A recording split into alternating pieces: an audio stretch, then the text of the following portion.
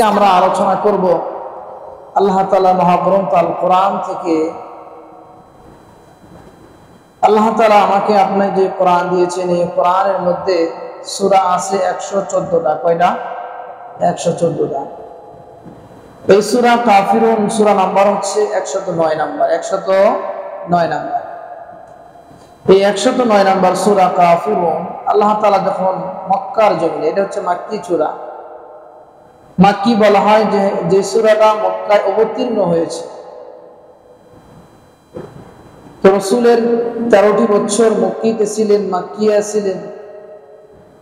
এই মক্কা থাকাকালীন এত কষ্ট দিয়েছে ইহুদি, খ্রিস্টান কাফেরা বলে মদিনায় এত কষ্ট দিয়েন এত কষ্ট পাই নাই পয়গম্বর। যে কষ্ট মক্কিরা দিয়েছে। তো মক্কায় অবতীর্ণ করলেন আল্লাহ তালা কোরআশ বংশের কিছু নেতা, আবুল আহাব উদ্বে সাহেবা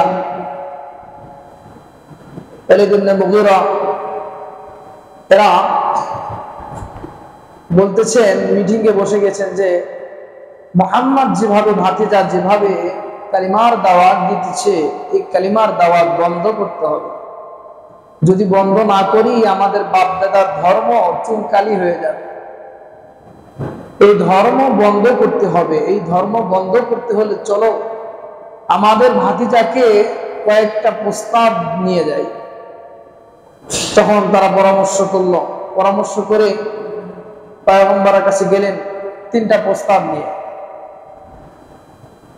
পয়গম্বরের সরকার দো আলমের কাছে, আবু জেহেলের বংশধরেরা পয়গম্বরের কাছে যা বলে, ও মোহাম্মদ রে, তোমার কাছে আমরা তিনটা প্রস্তাব নিয়ে এসেছি। এক নম্বর প্রস্তাব, মক্কার মধ্যে তোমাকে আমার ধনাত্ম বানাইয়া দিব। মক্কার মধ্যে তোমাকে ধনী বানাই দিব। বলে, কীরকম ধনী? বলে, মক্কার মানুষের যতগুলো সম্পদ আছে, সব সম্পদ থেকে অর্ধেক অর্ধেক করে উঠাইয়া সবগুলো এক জায়গায় করিয়া মক্কার মধ্যে সর্বোচ্চ ধনী বানাই দিব। সর্বোচ্চ ধনী বানাই দিব।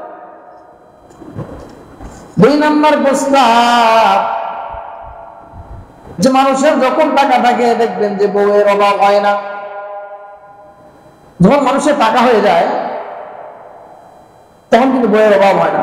তেমনি ভাবে পয়গম্বর কি বলতেছেন যে পয়গম্বর, আপনার যখন ধনী হবেন, আপনি টাকা হবে, মক্কার মধ্যে যে সুন্দরী আপনার পছন্দ হয়, ওই সুন্দরীর সাথে আপনার বিবাহ ব্যবস্থা করা হবে। টাকা থাকলে নারী পাওয়া যায়। তেমনি ভাবে দেখবেন যে বর্তমানে এমন হয়েছে, ছেলের বয়স যদি পঞ্চাশে পারি দেয় যদি টাকা থাকে, মাথায় চুল থাক আর না থাক, মেয়েকে বিয়ে দিব। এরকম হয় না আমাদের এখন? ছেলের বয়স পঞ্চাশ পারি চল্লিশ পারি পঁয়তাল্লিশ পারি কিন্তু টাকা আছে। অল্প বয়সের মেয়ে তাকে বাবা দেওয়ার জন্য পাগল হয়ে গেছে। অথচ মেয়ে কিন্তু ছেলেকে পছন্দ করতেছে না। টাকা আছে।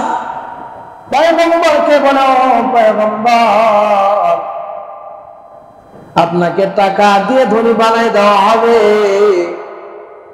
দুই নাম্বার শর্ত, আপনাকে সুন্দরী রানী, নারী গিফট করা হবে। বলে তিন নাম্বার শর্ত কি বলো? বলে তিন নাম্বার শর্ত। যখন আপনি টাকা পাবেন, যখন আপনি সুন্দরী নারী পাবেন, বলে তিন নাম্বার। আপনাকে মক্কার মধ্যে ক্ষমতাওয়ালা নেতা বানাই বানাই দিব। তিনটা শর্ত বলার পরে বলে বলে, ও মোহাম্মদ রে তিনটা অফার তোমাকে আমরা দিলাম, কিন্তু আমাদের একটা শর্ত আছে। পয়গম্বর বলে, কি শর্ত চাচারে? আবু জেহেলেরা বলে, ও মোহাম্মদ, এই শর্ত তিনটা তোমাদেরকে, তোমাকে আমি দিব। আমাদের একটা মাত্র শর্ত, সেটা হচ্ছে কালিমার দাওয়াত বন্ধ করে দিতে হবে। পয়গম্বর মুসকিয়াসিদে বলে আমার চাচারা রে, সারা পৃথিবী যদি আমাকে ক্ষমতা দেওয়া হয়, সারা পৃথিবী যদি আমার হাতের দেওয়া হয়, তারপরেও তো আমি কালেমা বন্ধ করব না বলে, চাচারা, বলে, সারা পৃথিবীর যদি ক্ষমতা আমাকে দেয়, আজকে প্রত্যেকটা দেশের প্রধানমন্ত্রী মনে করে যদি আমি সারা পৃথিবীরা যদি কন্ট্রোল করতে পারতাম, কতই না আমার ভালো হইতো। মেম্বার বলে আমি যদি চেয়ারম্যান হইতে পারতাম কত না ভালো হইতো। চেয়ারম্যান বলে আমি যদি মন্ত্রী হইতাম কত না ভালো হইতে পারতো। মন্ত্রী বলে আমি যদি দেশের প্রধানমন্ত্রী যদি হইতে পারতাম কত না ভালো হইতো। প্রধানমন্ত্রী বলে, সারা পৃথিবী যদি আমার কথায় চলতো, আমার কথায় উঠতো, আমার কথায় বসতো, কতই না ভালো হইতো। বলেন, সারা পৃথিবীর যদি ক্ষমতা আমাকে দেওয়া হয় তারপর কালিমা দেওয়া বন্ধ করব না। ওয়ালিদ ইবনে মুগীরা উদ্বে বলে কি করা যায়? যখন না, কত কায়দা দেখেন?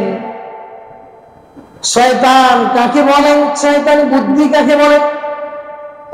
মুগীরা বলতেছে বাতি যাও তুমি তো আমাদের কোরআন বংশের সম্মানিত বংশে, তুমি তো আমাদের বাড়ি যাও আমরা চাই না যে তোমার আর আমার মধ্যে দুইটা ভাগাভাগি দল হয়ে যাক। আসলে কি করা যায়? আমরা এক জায়গায় হই, হয়ে মিলামিশ হয়ে থাকি। বলে আর একটা প্রস্তাব আছে। বলে, কি প্রস্তাব বলে, ভাতিজা, আমরা চাই না এক বংশের মানুষ তোমার ধর্মের কারণে ভাগাভাগি হয়ে যাক, শত্রুতা হয়ে যাক, কিন্তু আমরা চাই না। কত সুন্দর কথা দেখেন, পরামর্শ কি দিচ্ছে। বলে একটা কাজ করি, সেটা হচ্ছে আপনার ধর্মেরও ক্ষতি হবে না, আমাদেরও ক্ষতি হবে না। আমরা সবাই এবছর আমাদের মূর্তি পূজারি করি, এক বছর মূর্তি পূজারি করব আর দ্বিতীয় বছর ইসলাম গ্রহণ করব। তারপর ইসলামে আমরা ইবাদত করব, তোমার আল্লাহর ইবাদত করব, এক বছর আমাদের খোদার ইবাদত করবা। বলতেছে, ইসলামে যতটুকু ফায়দা আছে, উপকার আছে, এটা আমরা পাবো। আর আমাদের খোদার যতটুকু ফায়দা আছে, উপকার আছে, তুমি পাবা। এই একটা পরামর্শ। কত সুন্দর কথা বলে দেখেন যে এক বছর আপনি আমাদের হিন্দু ধর্ম পালন করবেন আর এক বছর আপনি মুসলিম ধর্ম পালন করবেন। দুই ধর্ম আলাদা হয়ে গেল না হয়। আপনার আমরা ইবাদত করলাম, আপনি ইবাদত করলেন। এ তার মুখে কথা। কীভাবে বলল যে আপনি এক বছর হিন্দু ধর্ম পালন করবেন আর এক বছর মুসলমান ধর্ম পালন করবেন। তাদের কথা দেখেন কীরকম পলিটিক্স এর কথা বলছে। কীভাবে দিনকে ধুলিসাৎ করা যায়? দেখবেন আমাদের মাঝে অনেকে মানুষ আছে। একবার মসজিদে যায় মসজিদে যায় বলে আল্লাহ সৃষ্টি সৃষ্টিকর্তা সর্বশক্তিমান আল্লাহ রব্বুল আলামিন। আল্লাহ চাইলে ক্ষমতা দিতে পারে, আল্লাহ চাইলে আবার বেয়াজিত করতে পারে। মসজিদ থেকে বাইর হয়ে যায়, ওই নেতা আবার এই যে দুর্গা পূজা চলতেছে।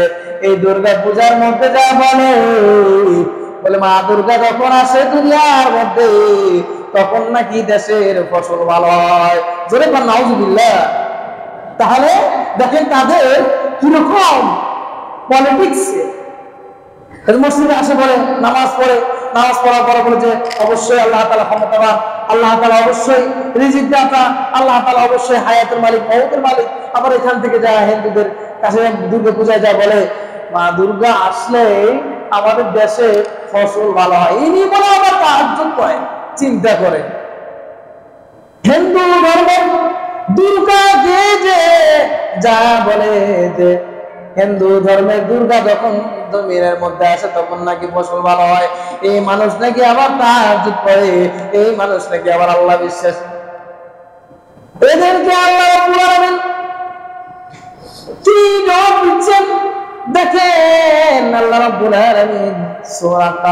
মধ্যে আমরা সবাই জবান খুলে বলব, আমরা সবাই এই সূরা পড়ি, সবাই আমার সাথে বলি, আউযু বিল্লাহি الشيطان الرجيم.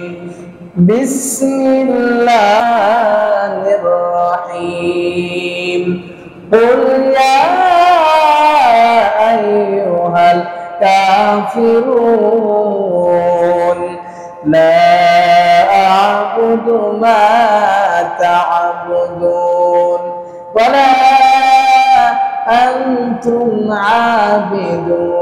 ما أعبد ولا أنا عابد ما عبدتم ولا أنتم عابدون ما أعبد لكم دينكم ولي دين আল্লাহ রাব্বুল আলামিন বলে হে পয়গম্বর আপনি জানায়া দেন আপনার উম্মতদেরকে জানায়া দেন ওই সমস্ত কাফেরদেরকে জানায়া দেন, দুনিয়ার জমিনদের মানুষদেরকে জানায়া দেন। এই কোরআন শুধু চোদ্দশো বছর আগে নাজিল হয়েছে বলে ওই দিনের জন্য নয়। আল্লাহ রব্বুল আলমিন বলেন, এই কোরআন নাজিল করেছে আমি যতক্ষণ পর্যন্ত পশ্চিম দিকে সূর্য ওঠে নাই অতদিন পর্যন্ত আমার কোরআনের কথা চলবে। এর মানে কি? পশ্চিম দিকে যেদিন সূর্য উঠবে, সেদিন আর সূর্য কোনদিন ডুববে না সেদিন কেয়ামতের এলান হয়ে যাবে। সেই দিন ইসরাফিল আলাইহিস সালাম সিংহে ফুঁক দিয়ে দিবে। বলে পশ্চিম দিকে যতদিন পর্যন্ত আল্লাহ তারা সূর্য ওঠে নাই, ততদিন পর্যন্ত এই কোরআনের কথা আমার থাকবে। আল্লাহ রব্বুল আলামিন দুনিয়ার মানুষদেরকে জানাই দিচ্ছে পয়গম্বর, আপনি জানাই দেন কুলিয়া আইয়ুহাল কাফিরুন।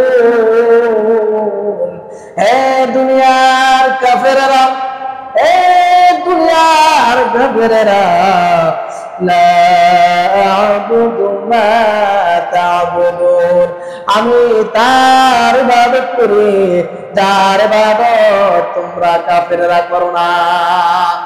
আল্লাহ বললেন, হে দুনিয়ার কাফেররা লা আ'বুদু মা তা'বুদুন পয়গম্বরকে জানায় দেয় ও পয়গম্বর আপনি জানায় দেন আপনি যে রবের ইবাদত করেন তারা কিন্তু ওই রবের ইবাদত করে না ولا أنتم عابدون ما أعبد এবং তোমরাও তার ইবাদত করো না, যার ইবাদত আমি মোহাম্মদ করি। হ্যাঁ দুনিয়ার মানুষরা, তোমরা শুনে রাখো, যারা বলে ধর্ম যার যার উৎসব সবার, আল্লাহ রব্বুল আলামিন তাদেরকে জানাইয়া দেন, ও কাফেররা। বলে যারা বলে ধর্ম যার যার উৎসব সবার, এই কথা যারা তাদেরকে আল্লাহ রব্বুল আলামিন বলেন কলিয়া আল্লাহ রব্বুল আলামিন বলতেছে, হে কাফেরের দলেরা, কেন কাফের বলল? কেন কাফের বলল? বলে তারা রাজনীতি করে রাজনীতির পলিটিক্স এর কথাই বলতেছে, ও মোহাম্মদ রে, তোমরা এক বছর ইসলামের কাজ করবা আর এক বছর আমাদের মূর্তির কাজ করবা, তাহলে তো আমরা মিলেমিশে থাকতে পারলাম, একসাথে থাকতে পারলাম। কত বড় কুফুরি কথা। তেমনি এখনও কিছু ব্যক্তি বলে ধর্ম উৎসব, সবার যদি এই কথা যদি কোনো ব্যক্তি বলে, তার ইমান জায়গায় থাকবে না, তার ইমান ধ্বংস হয়ে যাবে। বলে কেন? বলে কুফরি এক জিনিস, কাফের এক জিনিস, আর মুসলমান আর এক জিনিস। মুসলমান আর কাফের কোনদিন এক হতে পারে না। মুসলমান আর কাফের এক জায়গায় কোনদিন হতে পারে না। জান্নাত আর জাহান্নাম কখনো এক জায়গায় হতে পারে না। জান্নাত অবশ্যই আলাদা, আর জাহান্নাম অবশ্যই আলাদা। কুফুরদের জন্য আল্লাহ রাব্বুল জাহান্নাম রেখেছেন। আর মুসলমানদের জন্য আল্লাহ রাব্বুল আলামিন জান্নাত রেখেছেন। এই জন্য আল্লাহ রাব্বুল আলামিন জানায় দেয়, ও দুনিয়ার মানুষেরা, ও কাফেরের দলেদারে তোমরা শুনে রাখো। এই পয়গম্বর, আপনি জানিয়ে দেন, আপনি যে মালিকের ইবাদত করেন, সেই মালিকের ইবাদত কিন্তু তোমরা করো না। তাদেরকে আল্লাহ রাব্বুল আলামিন কাফির বলছে আইয়ুল কাফিরুন। হে কাফিরের দলেরা তোমরা যে বলতেছো, এক বছর মূর্তির ইবাদত করবে, আর এক বছর কাবার মালিকের ইবাদত করবে, না, এরকম তো হতে পারে না, এরকম তো হতে পারে না। কারণ কাফের এক অন্ধকার, আর দিন হচ্ছে একটা আলোকিত, যে আলো জান্নাতের দিকে যাবে, আর কিছু হচ্ছে একটা অন্ধকার, যে অন্ধকার জাহান্নামের দিকে চলে যাবে। কুফর হচ্ছে একটা অন্ধকার। আর দিন হচ্ছে আলো। যার আলোটা জান্নাতের দিকে যাবে। আর কুকুর হচ্ছে অন্ধকার, যে তার পথ হচ্ছে যার নামের আমি, আপনি, এই যে হিন্দুদের পূজা চলতেছে, এই পূজার মধ্যে এখানে আপনাদের আশেপাশে তো হিন্দু নাই, আমাদের দিনাজপুরে আমরা দেখেছি। হিন্দুদের এই পূজায় কি পরিমাণ মুসলমানের ঘরের সন্তান এবং মুসলমান যায়? অভাব হিন্দুর থেকে মানে মুসলিম জাতি বেশ? এই যে পূজা শুরু হয়েছে। পূজার বন্ধ হয়েছে সব জায়গায়। সব জায়গায় বন্ধ হয়েছে সব মানুষেরা পূজায় চলে যাচ্ছে। তারা বলে ধর্মচার যার উৎসব তো সবার, সবাই উৎসব করবে। এটাই যদি হয়, ধর্ম আর যার উৎসব সবার যদি হয়, একটা জিনিস খেয়াল করে আমরা না হয় কিছুক্ষণের জন্য মানলাম ধর্ম যার যার উৎসব সভা হিন্দুদের পূজা হচ্ছে আপনারা সবাই গেলেন মনে করেন, সবাই গেলেন আমার কথা হচ্ছে, উৎসব তো সবাই। আজকে পবিত্র জুমার দিন, বলেন তো কয়টা হিন্দু আছে এখানে? উৎসব যদি সবারই হয়, তারা কি কেউ আসছে এখানে? বুঝুন নাই মনে হয়। তারা কি কেউ আসছে এখানে? কেউ আসেন। তাহলে উৎসব সবার হলো কেমন? ধর্ম যার যার উৎসব যদি সবাই হয় আমার আজকে জুমার দিন, পবিত্র ঈদের দিন, পবিত্র আনন্দের দিন পবিত্র হজের দিন এই উৎসবে তারা তো কখনো অংশ অংশগ্রহণ করব না। আমাদের কীরকম বেহায়া। বেহায়া বেরজ্জা মানুষ থাকতে পারে। যে বেহায়া বেরজ্জা হিন্দুদের পূজায় যায়। আর বলে উৎসব সবার। স্মরণ থাকার দরকার যারা বলে। তারা বলে যে উৎসব সবার। কীভাবে আমার দলিল দেয় না কোন দিন ধর্ম যার উৎসব সবার আবার বলে, এটা নাকি বুঝাইতে আছে? যেই ভদ্রলোক বলেছে, এটা নাকি বুখারিতে আছে? ওই ভদ্রলোক জানে না এটা কোথায় আছে। আল্লাহ তালা কোরআনে বলে লাকুন্দি আল্লাহ কোরআনে কারিমের মধ্যে সূরা কাফিরুনের মধ্যে বলে, হে পয়গম্বর, আপনি জানিয়ে দেন, তোমাদের কর্মফল তোমরা পাবা, আর আমার দিনের কর্মফল আমি এটাই পাবো। আর এটাকে অর্থ বানাই দিছে জাহেলের গোষ্ঠীরা। তারা বলে, রাখুন দিন কুমারের দিন ধর্ম জায়গায় উচ্চার এত বড় জাহেল, যখন কোন মানুষ বলে, এই কোরআন বলে, রাখুন, দিন হুকুম মরিয়া দিন। বলে, কোরআন দিয়ে যারা দলিল দিল। বলে, রাখুন, দিন হুকুম মরিয়া দিন। কোরআন দিয়ে যখন অপব্যাখ্যা করলাম শয়তান ওইখানে দাঁড়ায় দাঁড়ায় বলে, তুই কেমনে মানুষ যে মানুষ হইতে যে কামটা শয়তান হয়ে কাম করতে পারে। যেভাবে অপব্যাখ্যা করে, বলবি, অপব্যাখ্যা আমি করতে পারিনি। তুই কেমনি মানুষ হইলি শয়তান এটা বলে। কেননা আল্লাহ লাকুম বলে তোমার ধর্ম যেন তুমি ওইটা করো, তোমার কর্ম করতে বাবা লাকুম দিন, তোমার ধর্ম তুমি করো, তোমার কর্ম কর্মফল তুমি পাবা। ওয়ালিয়া দিন আমি যে দিনের ধর্ম করতেছি, দিন পালন করতেছি এই দিন পালনের প্রাপ্য আমি পাবো। এই জন্য তাদের সাথে একমত হয়ে যাবে না। তাদের সাথে এক করে ইবাদত করা যাবে না। এই জন্য দুনিয়ার মানুষদেরকে জানিয়ে দেন। হে দুনিয়ার মানুষরা, তোমরা শুনে রাখো।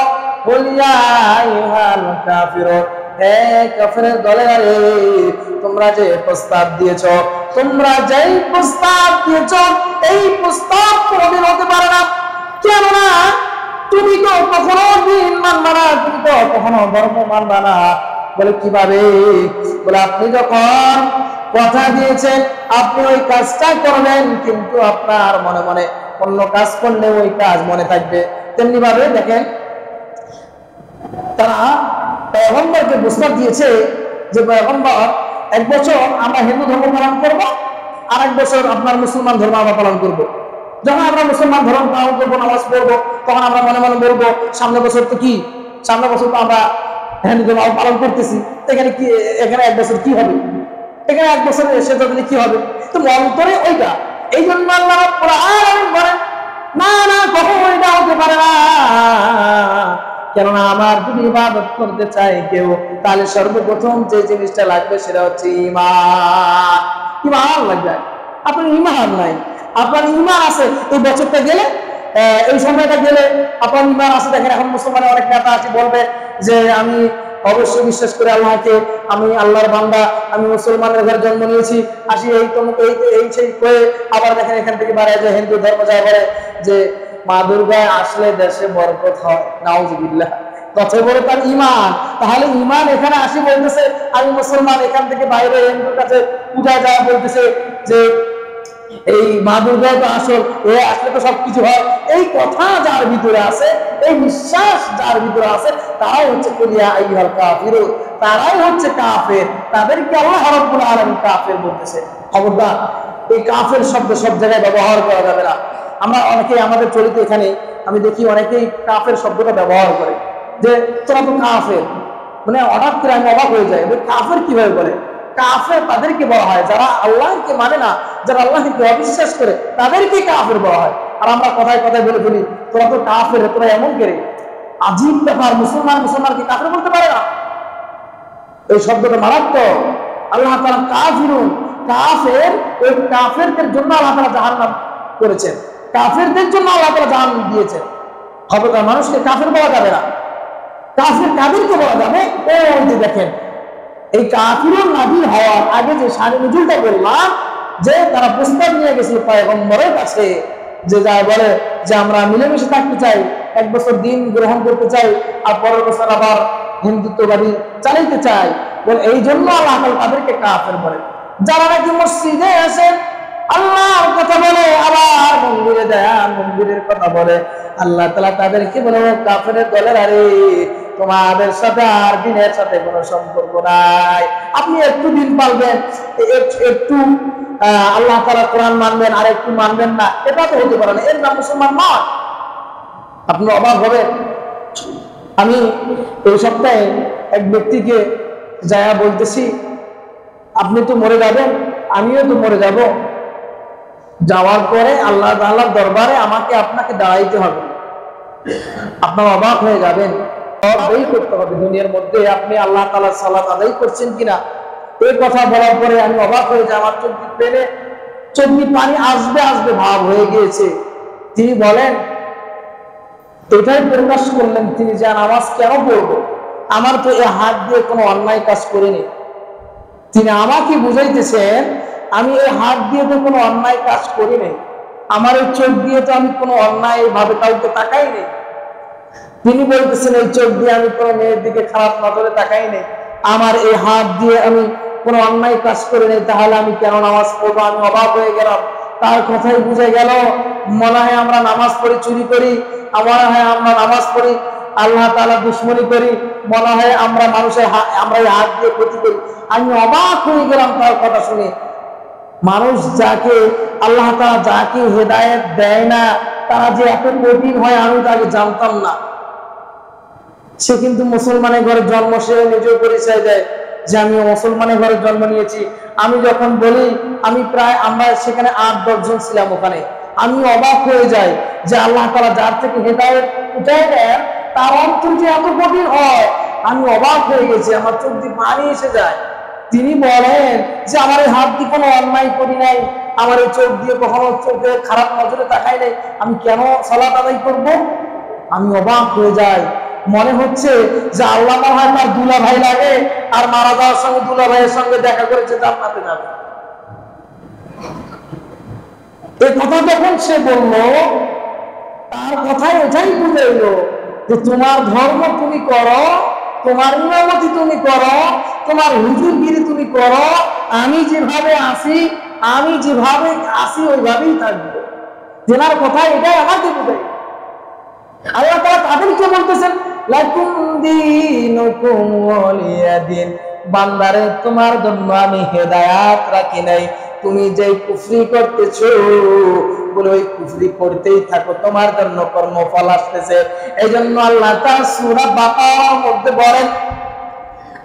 তারা তোমাদের ভিতরে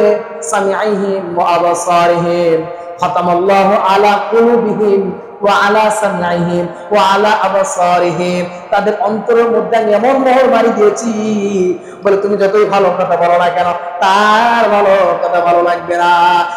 আমি এই সপ্তাহে পেয়েছি। আমি এত সুন্দর করে তাকে বুঝাইলাম যে আপনি তো অসুস্থ, মারা যাবেন, দুনিয়া থেকে চলে যাবেন, কখন যাবেন, কখন বা আপনি চলে যাচ্ছেন অথবা আমি কখন বা চলে যাচ্ছি? আল্লাহর কাছে কি দোয়া দিব যে আমরা আল্লাহকে পায়ে চেষ্টা করছি কিনা? এই কথাটা নামাজ কবুল হয়েছে কিনা সে মালিক জানে। কিন্তু আপনি মালিকের দরবারে হাজিরা দিচ্ছেন কিনা, এই কথাটা কি বলতে পারবেন? ওই ব্যক্তি কিন্তু জুমার দিনও আসে না এখানে।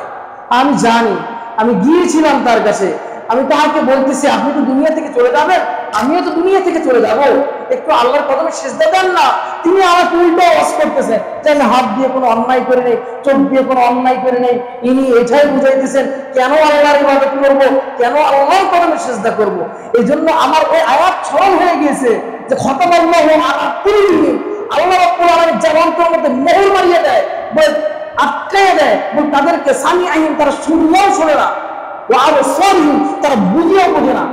তাদেরকে আমি হাতে বলে কুল্লিয়া আইয়ুহাল কাফিরুন। হে কাফেরের দলরা লাকুম দিনুকুম হে কাফেরের দলরা, তোমরা যে এটা করতেছো, আল্লাহ রাব্বুল আলামিন পয়গম্বরকে বলেন, ও পয়গম্বর, তোমরা দাও ওই কাফেরদেরকে, যারা তোমাদেরকে একসাথে হইতে বলতেছে, যারা তোমাদেরকে একসাথে হইতে বলতেছে, তাদেরকে তুমি জানায় দাও। তুমি যে কুফরি করতেছো, তুমি যে কুফরি করতেছো, তুমি যে খারাপি করতেছো, তুমি যে মূর্তির সামনে মাথা নত করতেছো, তুমি এইটা করতে থাকো তোমার কর্মফল তুমি পাইবা, না তুমি তোমার কর্ম তুমি পাবা, তোমার ফল তুমি পাবা। তুমি যে ইবাদত করতেছো, তার ইবাদত করছ, তুমি তার ইবাদত করো। ওয়ালিয়াদিন এই পয়গম্বর আপনি জানেন আপনি যার ইবাদত করতেছেন, আমি মালিক ওই ইবাদতের ফলাফল দিয়ে দিব। সুবহান।